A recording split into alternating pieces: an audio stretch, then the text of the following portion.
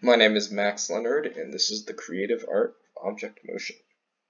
Why would anyone want to record a stop motion film? How is it different than shooting any other way? Stop motion, specifically object motion, has many perks. I was interested in the idea of trying to bring character life and motion from objects that would typically lack any of the sort.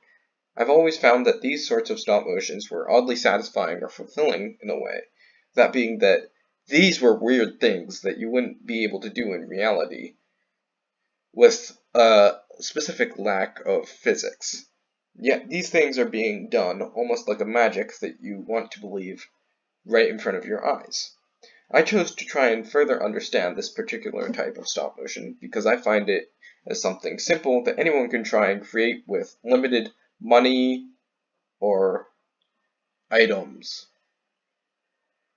When I was little, I had delved somewhat into different stop motion kits and sets that my parents had bought for me, and I thought it would be a good chance to do some more of that now.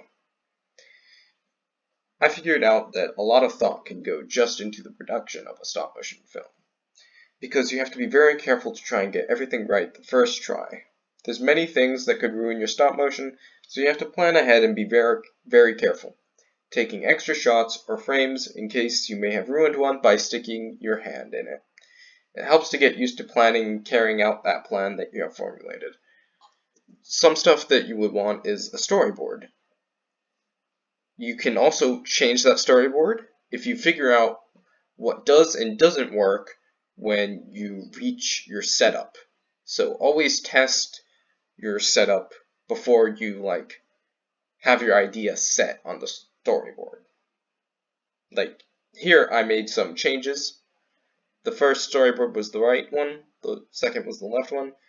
I ended up not liking having my figure fall off the chair a second time and climbing back up, so I changed it so I only had to do it once because it was hard to get it to stay on the chair. So test your setup, make sure everything you want to do is doable. Important notes. Sound is very important to try and sell your stop motion. You want to avoid shooting where somewhere where the light is susceptible to change.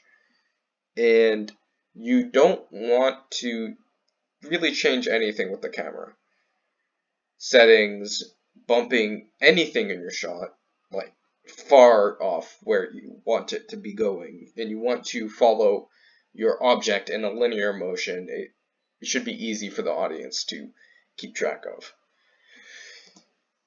On my setup, I just had a standard setup with all my props that I needed and a, a tripod with my camera. You don't need a tripod, you just need any steady surface that you can keep your item attached to.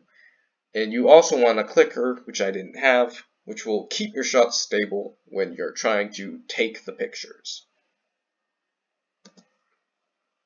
When I was editing, I had to edit some things out, some such as my mother's hand, because the whole row row of shots had her hand in it. And also, we used a string in a few shots, so I had maybe one set of frames where I had to try and uh, hide string.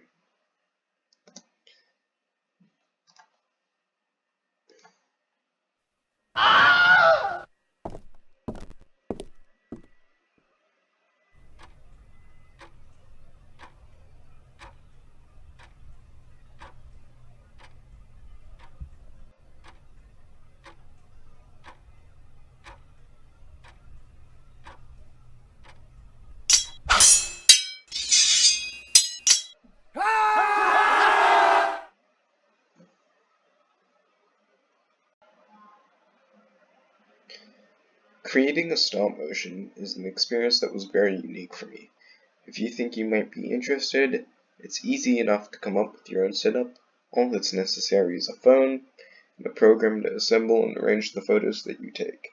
Finding a stable place with light and any objects necessary is something that anyone should be able to do on the fly. Thank you for listening.